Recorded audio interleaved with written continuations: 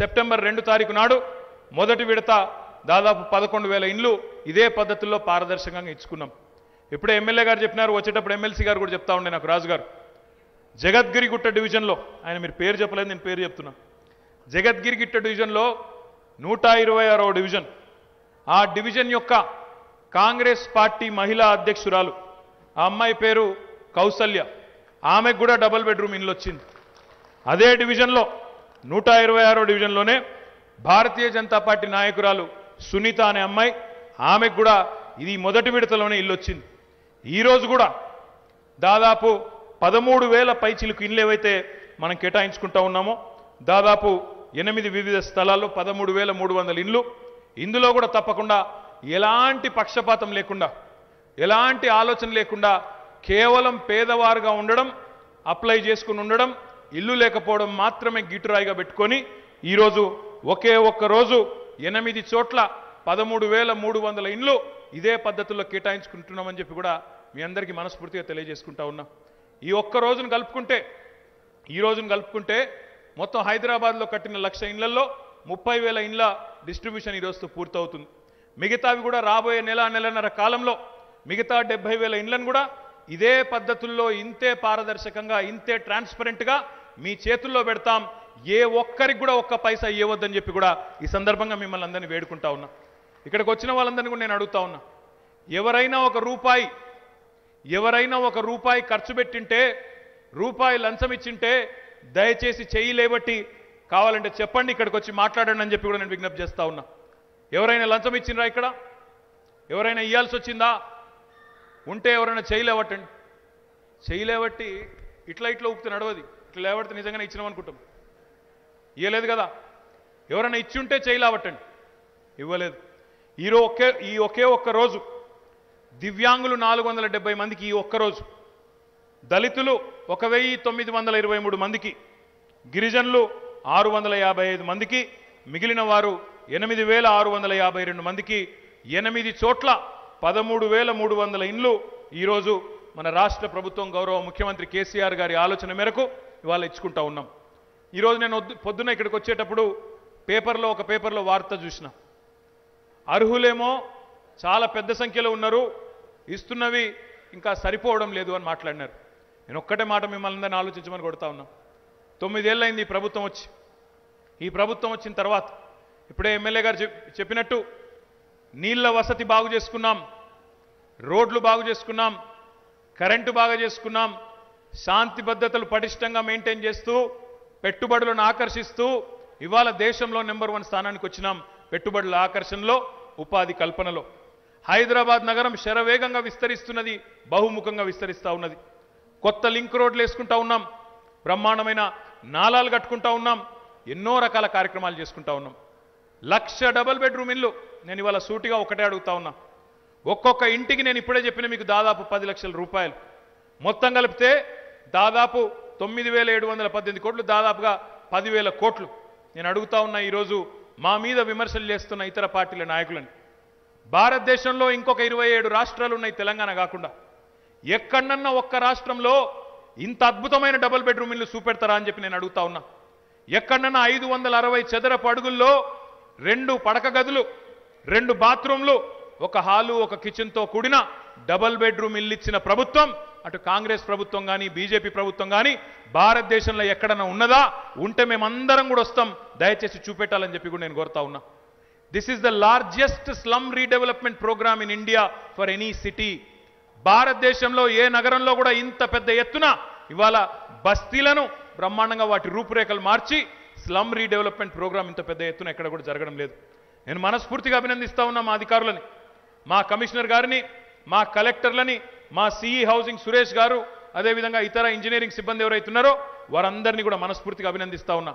ఇంత పెద్ద యజ్ఞం ఇంత పెద్ద నగరంలో నిర్విఘ్నంగా చేయడం అంటే పంచాయతీలు లేకుండా తాకట్లు లేకుండా గొడవలు లేకుండా షికాయత్ లేకుండా చేయడం అంటే మామూలు విషయం కాదు. గట్టిగా చప్పట్లతో ఒకసారి అధికారులందరికీ అభినందనలు చెప్పాలని చెప్పి నేను కోరుతా ఉన్నా.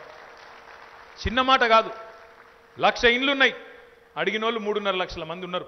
అర్హులు ఉన్నారు మేము కాదంటలేం. వాళ్ళకు కూడా ఇస్తాం. ఇప్పుడు ఎమ్మెల్యే గారు అన్నారు మాకు కూడా వస్తుందన్న విశ్వాసం ఉంది అన్నారు. తప్పకుండా నేను మీ అందరికి ఒకటే మాటిస్తా ఉన్నా హైదరాబాద్లో ఇంకా ఇండ్ల కోసం ఎదురు చూస్తున్న వాళ్ళందరికీ కూడా ఒకటే మాటిస్తా ఉన్నా. ఈ ప్రభుత్వం వచ్చిన తర్వాతనే ఇవాళ మన జీవన ప్రమాణాలు బాగుపడతా ఉన్నాయి. కేసీఆర్ గారి నాయకత్వంలో మాత్రమే పేదలకు ఇవాళ న్యాయం జరుగుతూ ఉంది. మిగతా వాళ్ళు అర్హులైన వారు ఎవరైతే ఉన్నారో వారందరికీ కూడా ఇల్లు ఇచ్చే బాధ్యత మాదే. తప్పకుండా భవిష్యత్తులో వారందరికీ ఇచ్చే విధంగా కూడా కృషి చేస్తామని చెప్పి వారందరికీ కూడా తెలియజేస్తా ఉన్నా. ఇవాళ పిండి కొద్ది రొట్టె. ఎంత పిండి ఉంటే గన్నే రొట్టెలు అవుతాయి మాకు కూడా ఉన్నది ఇవ్వాలని ఒకటేసారి నాలుగు లక్షల మందికి ఇచ్చేయాలి. మాకు కూడా ఉన్నది. కానీ ఇన్ని కార్యక్రమాలు మధ్యలో ఈ కరోనా లాంటి సంక్షోభం రెండేండ్లు. దానివల్ల ఆర్థిక పరిస్థితి కూడా కొంత దెబ్బతిన్న మాట కూడా మీకు తెలుసు. అయినప్పటికీ ఒకవైపు గ్రామీణ ప్రాంతాల్లో ఉండే రైతులకు రెండుసార్లు రుణమాఫీ చేసుకున్నాం. రైతు బంధు ఇవాళ డెబ్బై మూడు వేల కోట్ల రూపాయలు. రైతు బంధు రూపంలో డెబ్బై లక్షల రైతుల ఖాతాల్లో వేసుకున్నాం. దళిత బంధు లాంటి విప్లవాత్మకమైన పథకం తెచ్చి భారతదేశానికే ఇవాళ దళితోద్ధరణలో ఆదర్శంగా నిలబడ్డాం. పారిశ్రీ పారిశ్రామికీకరణ కొత్త పరిశ్రమలను ఇవాళ ఆకర్షించడం దుండిగల్ కూడా తొందరలోనే ఒక కొత్త పరిశ్రమను తీసుకొని రాబోతా ఉన్నాం. ఈ ప్రాంత రూపురేఖలు కూడా తప్పకుండా మారుస్తామని చెప్పి కూడా నేను విజ్ఞప్తి చేస్తా ఉన్నా. ఇట్లా ఎన్నో పనులు చేసుకుంటూ ముందుకు పోతా ఉన్నాం. కుత్బుల్లాపూర్ నియోజకవర్గ విషయానికి వస్తే ఇద్దరు మా సోదరులు అటు రాజు గారు ఇటు వివేక్ గారు రామ లక్ష్మణుల్లాగా అన్నదమ్ముల్లాగా బ్రహ్మాండంగా అభివృద్ధి బాటలో నియోజకవర్గాన్ని ముందుకు తీసుకొని పోయే ప్రయత్నం చేస్తూ ఉన్నారు. ఇద్దరిని కూడా ఇద్దరిని కూడా గౌరవ ముఖ్యమంత్రి గారు గుర్తించి గౌరవించి తమ్ముడు రాజు గారికి ఇవాళ క్యాబినెట్ ర్యాంకుతో అక్కడ ప్రభుత్వ విప్ హోదానిస్తే తమ్ముడు వివేక్ గారిని మళ్ళీ తిరిగి శాసనసభకు నామినేట్ చేయడం కూడా జరిగింది. శాసనసభకు ఎంపిక చేయమని చెప్పి కూడా కోరడం జరిగింది. ఇద్దరు కలిసి మెలిసి అన్నదమ్ముల్లాగా నియోజకవర్గం కోసం కష్టపడుతూ ఉన్నారు. వారిద్దరు కూడా కలిసి మెలిసి భవిష్యత్తులో కూడా ముందుకు సాగాలి. మీ అందరి మద్దతుతో బ్రహ్మాండమైన ఉజ్వలమైన భవిష్యత్తు ఇద్దరికి ఉండాలని చెప్పి కూడా మనస్ఫూర్తిగా నేను కోరుకుంటా ఉన్నా. దయచేసి మిమ్మల్ని కోరేది ఒకటే. ఇక్కడికి వచ్చిన మా ఆడబిడ్డల్ని అన్నదమ్ముల్ని కోరేది ఒకటే. పని చేసే ప్రభుత్వాన్ని ఆశీర్వదించండి.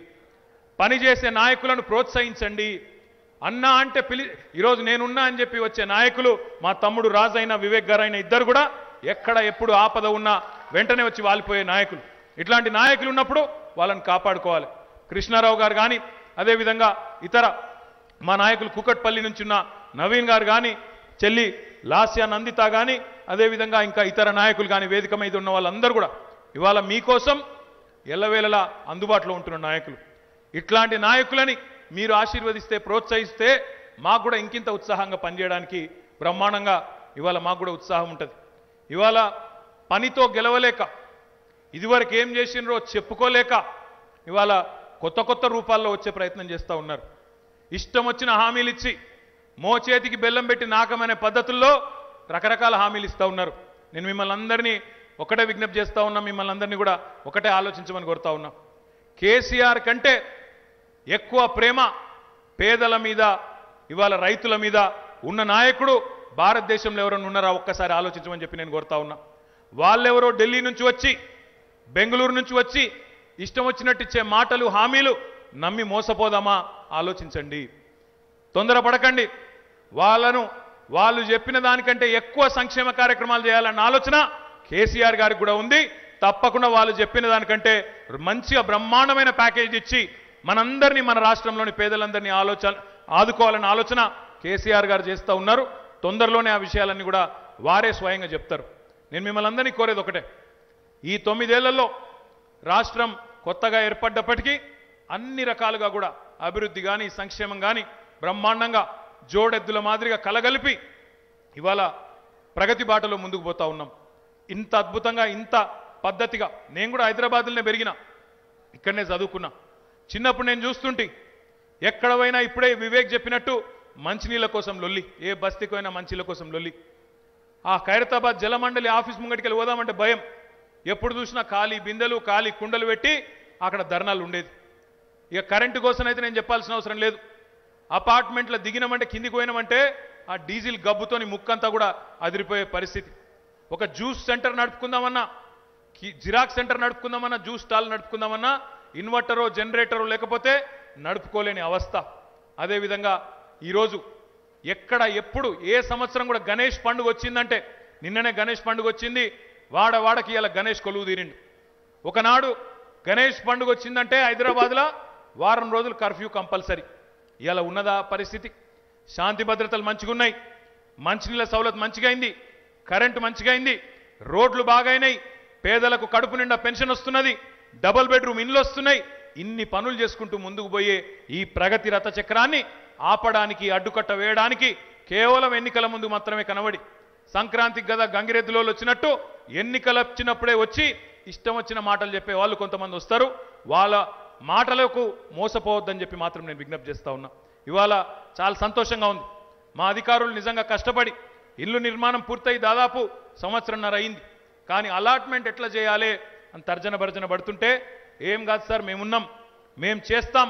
మీరు భయపడకండి బాధపడకండి ఎందుకంటే రాని వాళ్ళు నొచ్చుకుంటారు కానీ వాళ్ళకు కూడా విశ్వాసం ఇద్దాం పారదర్శకంగా చేద్దాం.